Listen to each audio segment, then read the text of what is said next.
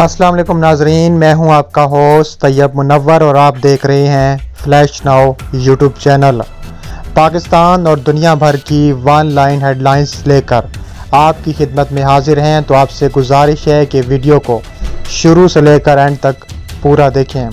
Video की तफसीत में जाने से पहले अगर अभी तक आपने हमारा चैनल सब्सक्राइब नहीं किया तो चैनल को सब्सक्राइब करके बेल लाइकन पर ज़रूर क्लिक कर दें। और इस वीडियो को एक लाइक ज़रूर करें। अब चलते हैं वीडियो की तफसीत की जानब, एक जानब कशीदगी। दूसरी जानब इकतसादी माहे पर पेशरफ चीन अमेरिका से कितने बिलियन का सामान खरीदेगा? अमेरिका और चीन ने कई शोबों में जारी कशीदगी के बावजूद इस साल जनवरी में तय पाने वाले बाहमी इकतसादी और तजारती माहे पर अमल दरामद को आगे बढ़ाने पर इतफाक़ किया है।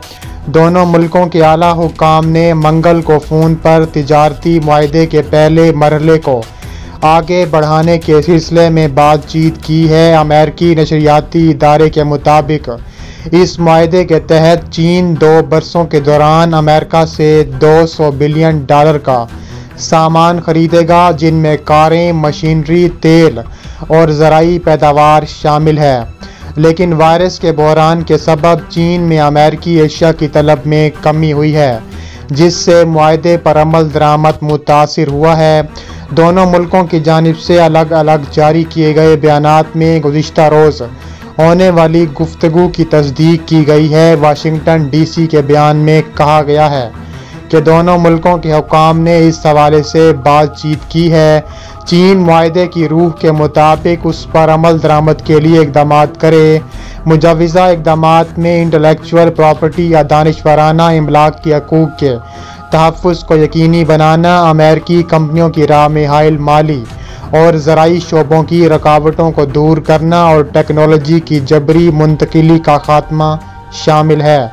बयान में कहा गया है कि दोनों ममालिक समझते हैं कि माहे में पेशरफ हुई है और वो उसे कामयाब बनाने के लिए मज़ीद इकदाम करेंगे। दूसरी जानब, बीजिंग ने अपने बयान में कहा है कि दोनों मुल्कों के दरमियान तामीरी बातचीत हुई है। जर्मनी में सिख कश्मीरी बरदरी की जासूसी पर भारतीय शहरी के ट्रायल का आगाज़ हो गया। नई दिल्ली की खुफिया सर्विसेज़ के लिए जर्मनी में सिख और कश्मीरी बरदरीों पर जासूसी करने के इल्ज़ाम का सामना करने वाले एक भारतीय शहरी पर फ्रंक फिक्रट में ट्रायल का आगाज़ हो गया। मीडिया रिपोर्ट्स के मुताबिक मुशतबा शख्स की शनाख्त चौवन साल बलवीर एस के नाम से हुई उस पर कम अज़ कम जनवरी में। 2015 से भारत की गैर मुल्की खुफिया agency research and intelligence wing रा के लिए काम करने का इल्ज़ाम है। इस तगासा का कहना था कि उसने जर्मनी में सिख अपोजिशन और कश्मीरियों की तहरीक और उनके रिश्तेदारों के बारे में मालूम हासिल की और ये बात उन मालूम को फ्रैंकफिकरट में भारतीय कौंसल खाने में ऐसे मामला देखने वालों को पहुँचाईं। इलाकाई आला अदालत में मजमू तौर पर दस समातें शेड्यूल की गईं और उनतीस अक्टूबर को मुकदमे की आखिरी समात होगी। वाज रहे कि इसी फ्रंक फिक्रट अदालत ने गुज्त दिसंबर में एक भारतीय जोड़े को उन्हीं बरदरीों में जासूसी का मुजरिम करार दिया था और गैर मुल्की इंटेलिजेंस एजेंट की वसीयत से काम करने वाले शोहर को 18 माह की मअतल कैद की सज़ा सुनाई गई थी और उसकी बीवी को उसकी मदद करने पर 180 रोज़ तक मजदूरी का जुर्माना आयद किया था।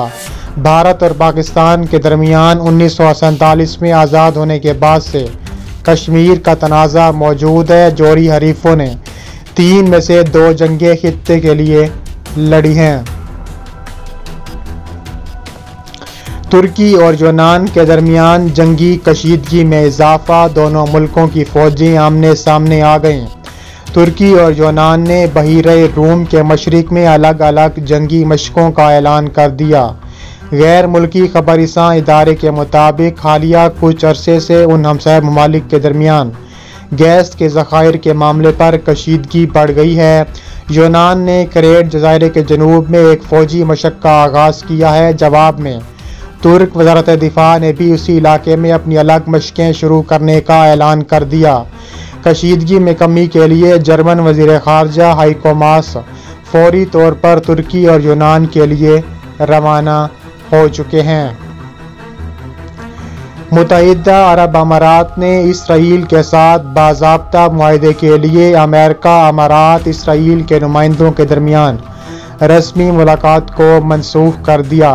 मुतहदा अरब अमारात ने इसराइली और अमेरिकी अहदेदारों के साथ बाबा माहे के लिए होने वाली मुलाकात मनसूख कर दी है, क्योंकि इसराइली वज़ीर अजम की जानब से अमेरिका की तरफ़ से अबू जैबी को Lockheed Martin F thirty five लड़ाका त्यारे फ़रोग करने की मुखालफत सामने आई है। तफसीत के मुताबिक इसराइली सहाफ़ी बार रवेद ने इतला दी है कि अमाराती अहदेदारों ने अचानक एक रस्मी इजलास मनसूख कर दिया अबूजैबी अमेरिकी साख्ता जदीद तरीन। जेट तैयारों की खरीदारी के लिए कोशा था, लेकिन अमेरिकी पॉलिसी के मुताबिक इसराइल को खत्े में अपनी फौजी बढ़तरी बरकरार रखना होगी।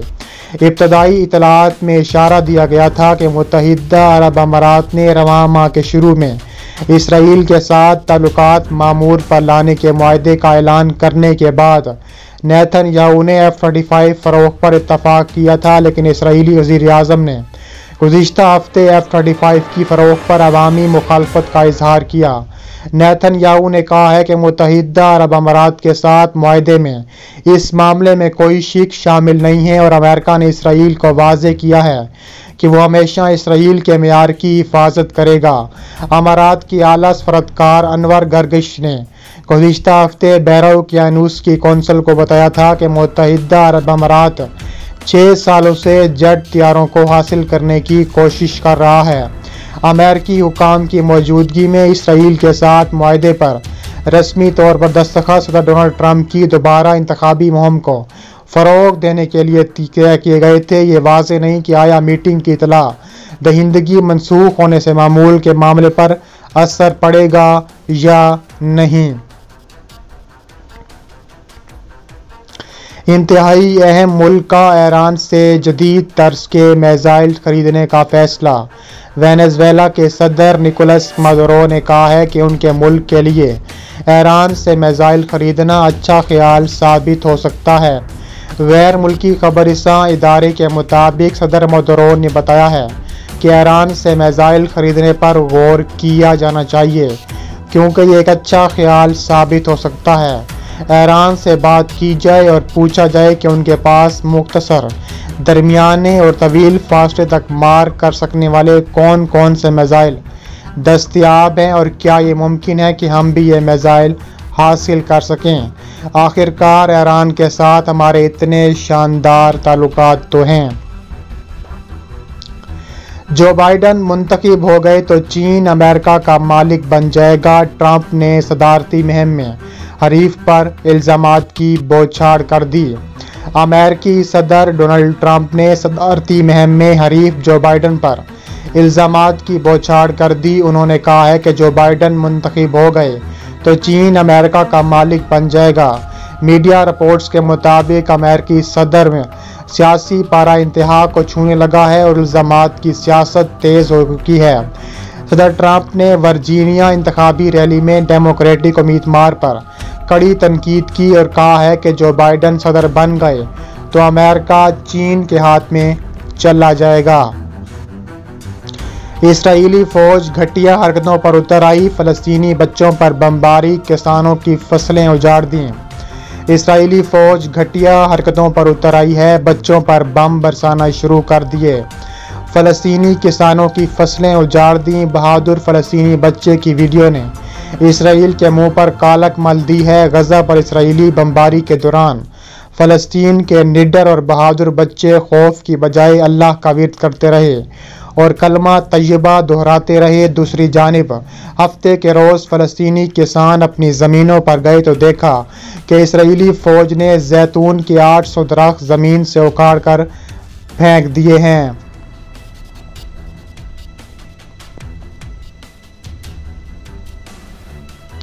पलवामा वाक़े से मुतलक भारतीय रिपोर्ट पाकिस्तान मुखालिफ एजेंडे का हिस्सा है।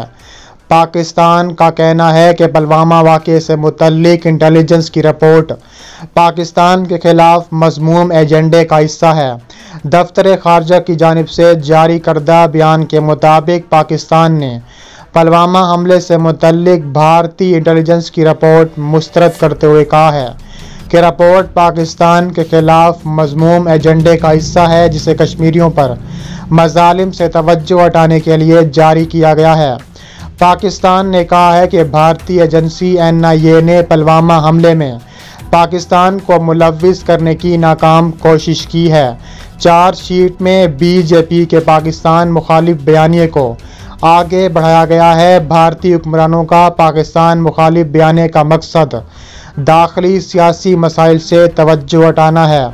पाकिस्तान का कहना है कि भारतीय लोकसभा के इलेक्शन से कबल पलवामा का ड्रामा रचाया गया। वाक़े के बाद भारत मुसलसल पाकिस्तान मुखालिफ प्रोपेगेंडा चला रहा है। पाकिस्तान ने पलवामा वाक़े के फौरी बाद तहकीकात में ताउन की पेशकश की थी।